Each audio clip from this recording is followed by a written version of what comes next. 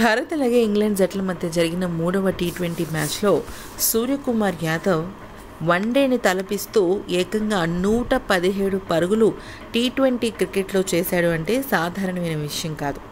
అయినప్పటికీ కూడా అతని పోరాటం వృధా పాలైంది. దీనికి గల కారణం ఆఖరిలో అతనికి తోడుగా ఎవరు నిలవలేకపోవడంతో పదిహేడు పరుగుల తేడాతో ఓటమి పాలైంది భారత జట్టు. అయినప్పటికీ కూడా సిరీస్ను గెలిచింది భారత జట్టు. ఏదైతే టెస్ట్ సిరీస్ ఖచ్చితంగా గెలిచి ఆ టెస్ట్ సిరీస్లో గె మంచి గెలుపొందాం అనుకుందో అక్కడ సిరీస్ సమమైపోయింది. కానీ టీ ట్వంటీలో మాత్రం భారత జట్టు మంచి ప్రతిభను కనబరిచింది.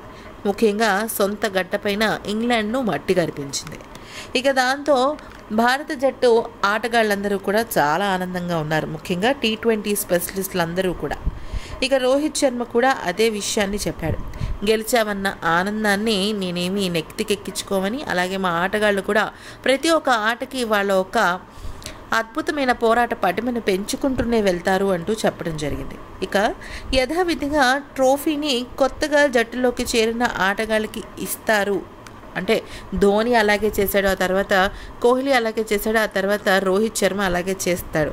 కానీ ఈసారి జరిగిన విషయం ఏంటి అంటే రోహిత్ శర్మ ట్రోఫీని తీసుకొస్తున్న సమయంలో అక్కడున్న ఆటగాళ్ళందరూ కూడా సూర్యకుమార్ యాదవ్ సూర్యకుమార్ యాదవ్ అంటూ గట్టిగా అరవడం మొదలుపెట్టారు. అయితే ఆ సమయంలో రోహిత్ శర్మ ఆ ట్రోఫీని తీసుకొచ్చి అక్కడున్న ట్రోఫీ టేబుల్ మీద పెట్టాడు.